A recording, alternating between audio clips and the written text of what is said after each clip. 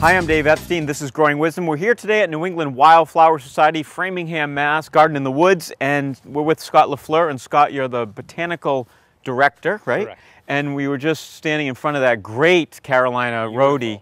This time of year, trilliums are in bloom. Absolutely. And trilliums are just revered here at Garden in the Woods. We have about 12 different species of them. People that love the woodland shade garden really love to have these plants in the garden. Why are they so special? Trilliums take patience. You just have to slow down with them. The seeds can take almost two years to germinate, and after they germinate, it takes about seven years to actually get a flower off a trillium plant. Why is it so long? It is so long because trilliums are spring ephemerals, meaning they come up real early in the season, take advantage of the high light levels in the forest without any leaves on the trees, and they try to absorb as much energy as they can, store it into their rhizome, and then go away for the rest of the summer. So it takes a long time to build up the reserves of energy in the rhizome in order to get them to produce a flower.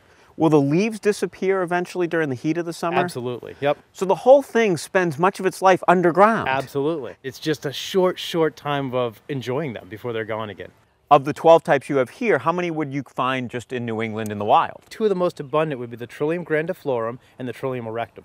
Now, do you have a favorite one of all of these? Is there one that you particularly love yourself? I, I love the Trillium grandiflorum. Now, if I want one of these in my own garden mm-hmm. and I'm walking through the woods, I, I know you're not supposed to do this. The temptation may be to dig it up. Why not? The reason is when you're digging them up out of the ground, you're starting to alter the ecosystem.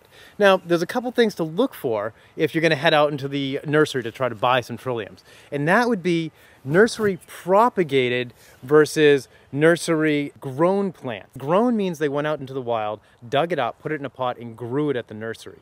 You want to look for nursery propagated plants because plants that have been propagated have been started by seed, and seed collection is not as detrimental as actually digging up the plant itself.